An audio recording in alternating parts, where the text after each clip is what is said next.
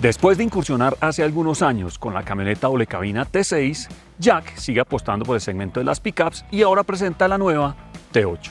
Este modelo presenta un estilo más fresco, mejores acabados y viene con un tren motriz mucho más poderoso y llega respaldado por la confiabilidad que han demostrado los camiones de la marca en nuestro país. Bienvenidos a Autos de Primera, mi nombre es César Arboleda y hoy los invito a conocer a fondo la nueva Jack T8 la nueva pickup doble cabina con platón que ya está disponible en todos los concesionarios de la marca en nuestro país.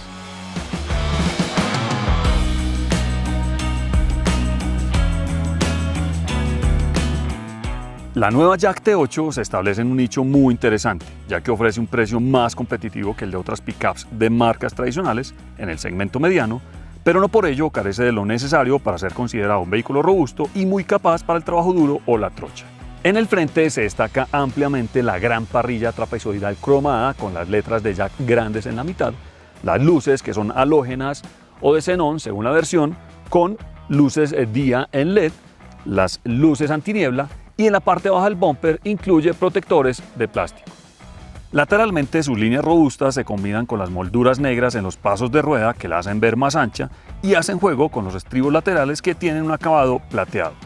Las manijas de las puertas son cromadas y me llamó la atención que trae una barra antivuelco que la hace ver mucho más deportiva y a nuestro país llegó configurada con unos rines bitono espectaculares de 18 pulgadas en medidas 265, 60, 18. En la parte trasera los stops son en LED en forma de doble C y trae la cámara reversa en la compuerta. Además en el bumper están incluidos un stop adicional con los reflectivos. La compuerta se abre muy fácilmente y al interior accedemos a una capacidad de carga máxima de 790 kilos en un platón de 1.52 metros de largo. Debajo se encuentra la llanta de repuesto que es del mismo tamaño del rin original del carro. Además, el platón cuenta con un protector sintético y tiene cuatro ganchos de amarre para sujetar la carga. En general, Jack diseñó una camioneta doble cabina con un estilo sobrio, pero con identidad propia. En cuanto a las dimensiones, la nueva Jack T8 mide 5,32 metros de largo, 1,88 metros de ancho y 1,83 metros de alto, con una distancia entre ejes de 3,09 metros, medidas típicas de una pickup mediana. Es importante resaltar que ofrece una altura mínima con respecto al piso de 22 centímetros y los ángulos de ataque y salida son de 30.9 y 23,3 grados respectivamente.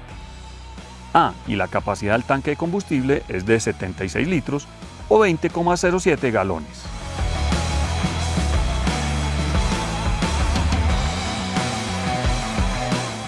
Pasando al interior nos recuerda un poco a la Jack T6, pero con un estilo mucho más sobrio y elegante, con plásticos blandos de muy buena calidad, de hecho es abullonado acá en el frente, y unos acabados metalizados que atraviesan todo el frente del tablero. Además, con estas costuras rojas tanto en la parte frontal como en los apoyabrazos y en las sillas que le dan un toque deportivo a esta camioneta.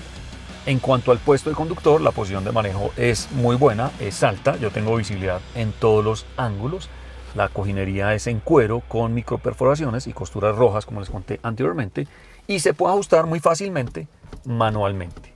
Saben, me gustó mucho el material del volante, es grueso, con costuras y trae mandos para el control de crucero o para subir o bajar el volumen y contestar llamadas de este lugar. Lo único es que solo se puede regular en altura. Al frente el cuadro de instrumentos es análogo para el tacómetro y el velocímetro con un bonito diseño y en el centro está el computador de a bordo donde podemos ver las funciones básicas de viaje. Pasando a la consola central, la pantalla multimedia es de 8 pulgadas y no ofrece botones físicos, solo los que están en el volante la verdad es que tiene buena definición y tiene conexión Bluetooth para conectar el celular.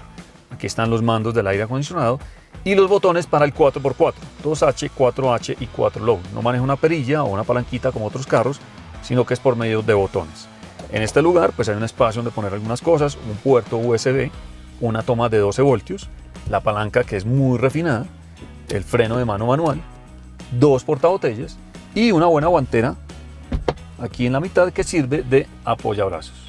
Por su precio es una oferta interesante en cuanto a confort y complementando todo lo que les he mostrado, la nueva Jack T8 en su versión Pro viene con acceso sin llave, botón de encendido, función de plegado para los espejos, sistema One Touch y anti-atrapamiento en los elevavidrios, sensores delanteros, cámara de 360 grados y sistema de monitoreo de presión de las llantas. Pasando a la parte trasera, la cojinería también es muy buena, abullonada, con costuras rojas. Y miren, puedo abatir el asiento para poder guardar algunos objetos o las herramientas en este lugar. El acceso pues es muy fácil debido a los estribos. Coger de este lado. Y al interior pues caben perfectamente tres adultos. Miren mi posición de manejo, la altura. La acá en la mitad pues no va muy incómoda debido al túnel de transmisión que no es muy alto. Y en general pues la verdad es un muy buen carro. En cuanto a seguridad, equipa dos airbags, frenos ABS con EBD, asistente de frenado de emergencia, sistema de control de estabilidad, sistema de control de tracción y asistencia de arranque en pendientes.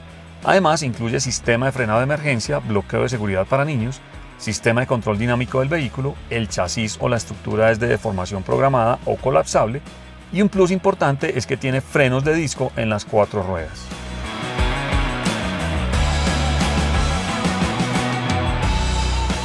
Antes de hablar del motor, les voy a mostrar algo que me gustó mucho y es que el capot es de apertura hidráulica y al interior encontramos un motor turbo diésel de 2.0 litros que desarrolla 136.7 caballos y 320 Nm de torque desde las 1600 revoluciones, que van acoplados a una caja mecánica de 6 velocidades.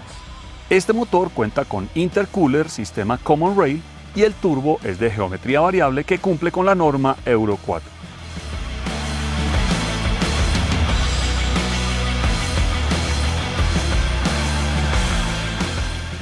Ahora voy a comprobar su desempeño en la trocha. Vamos en primera. el carro se desempeña mejor desde las 1600. Entonces lo revolucionamos. Muy bien. La verdad es que la relación de caja es corta y en carretera pues se ha comportado muy bien. Ahora aquí va subiendo muy bien. Ya si yo quiero entrar a un terreno un poco más complicado, pues simplemente andando puedo pasarlo a 4H, poniendo el botón acá. Ahí titila, ya tengo el 4H. Entro. Muy bien, se, nota que está mucho más rudo. Ahí están traccionando las cuatro ruedas.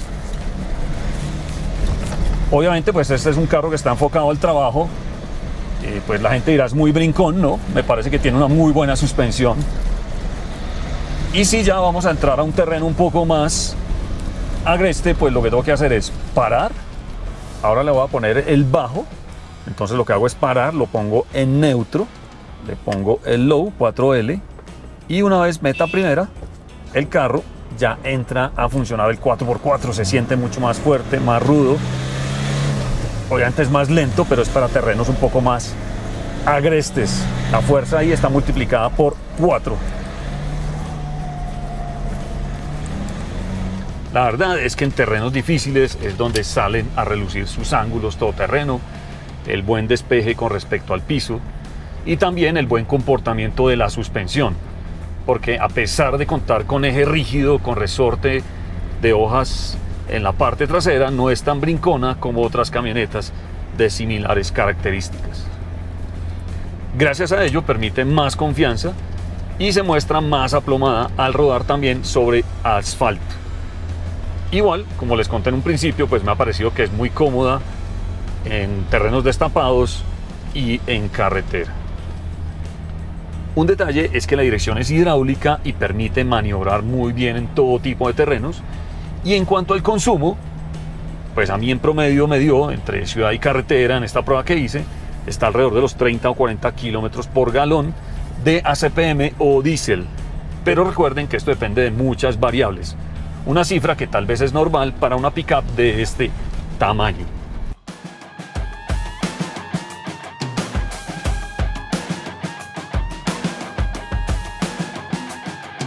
Todos sabemos que este es un vehículo de trabajo, pero no importa. Yo sé que ustedes quieren ver la aceleración. Verifico que esté en 2H. Vamos a fondo.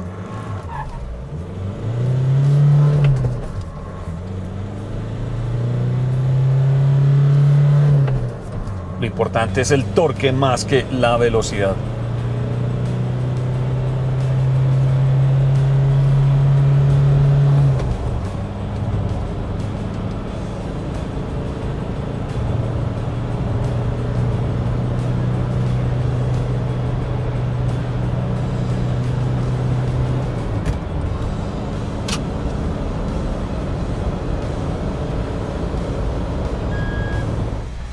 En conclusión, la nueva Jack T8 ofrece un buen aislamiento del motor, el conjunto mecánico presenta un óptimo desempeño, la verdad es que me pareció muy buena camioneta. Y por el precio y desempeño, esta pickup doble cabina puede ser una gran aliada para el trabajo, ya sea fuera o dentro de la ciudad. Quizá podría mejorar en algunos detalles, pero hay que pensar que este es un auto enfocado principalmente al trabajo. Eso sí, a cambio compensa un buen nivel de equipamiento y refinamiento en general, además de su desempeño y la confianza que ha generado la marca Jack en el segmento de camiones livianos, donde es una de las marcas que más unidades venden en nuestro país, el cual nos hace olvidar muchos prejuicios sobre los autos de origen chino. En cuanto a la garantía, la nueva Jack T8 cuenta con 3 años o 100.000 kilómetros, lo que primero ocurra.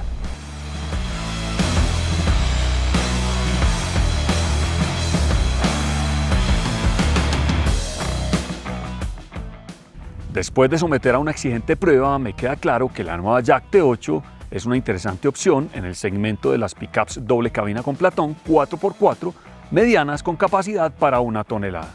Y con un precio de 97.990.000 pesos en esta versión que tuve a prueba, se convierte en una gran alternativa frente a las marcas tradicionales que ofrecen un desempeño similar, pero por un precio mucho mayor. ¿Qué les parece? ¿Les gustó la nueva Jack D8? Déjanos tus preguntas o comentarios al finalizar el video. Y como siempre, no olviden suscribirse a nuestro canal, darle like y compartir nuestros contenidos para seguir haciendo videos como este. Nos vemos en un próximo video.